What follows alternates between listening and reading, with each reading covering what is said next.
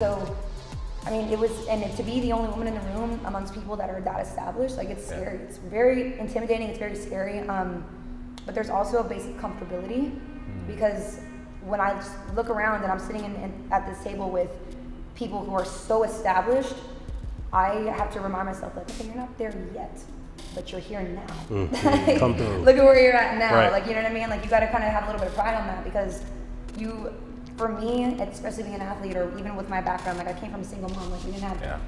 zero. Like I've always had to kind of continue to put myself in positions where survival was like you're gonna figure it out Yeah. no matter what. You know, you don't yeah. know the word can't. Like my mom always told me, you don't know the word can't. Don't ever let, tell, let anybody tell you the definition of what that means because you don't know it. Yeah. Like stay blank to it. And that I kind of grew up with, just, and continuously kept putting in every perspective, whether it was with pageants I did, or with going putting myself through general school, or becoming a professional athlete to even the entrepreneurial world. Was, look, you know, it took a lot of work for you to get here. Now you're either gonna like, and it could take one small instance to completely take it away from you, and that is a scary feeling.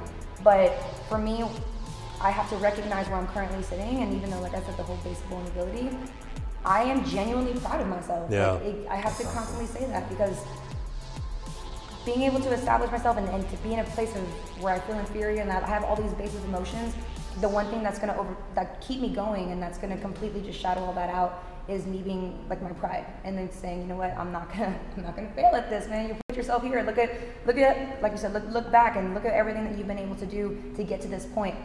Now you can either take those steps back and be okay with what you did, or you can keep going, look back again and be like, dang, a year later, we're still going and look how much further we've got. Mm.